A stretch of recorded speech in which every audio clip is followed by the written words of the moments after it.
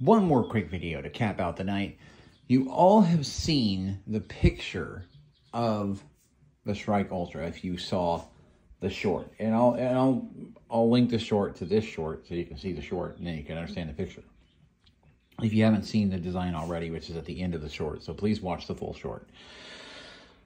Now, I did the calculations on the printing for this drone so that I knew how many rolls of clear PETG that I needed.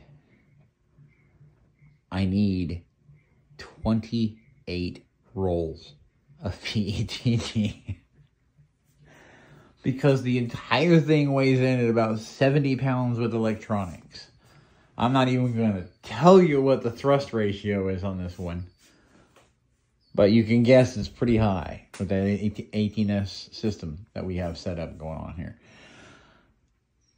28 rolls of filament to print the drone body.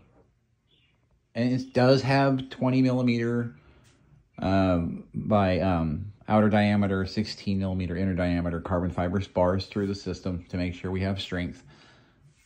But 28 friggin' rolls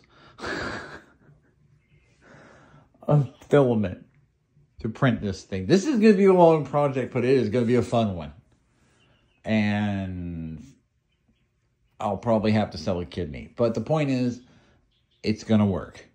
I'll get the rolls one by one, little by little, and print and print and print and print, and you guys will see the progress along the way.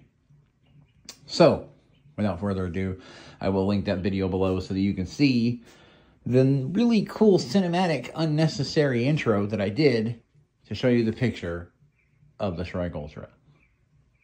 All right, y'all have a good night.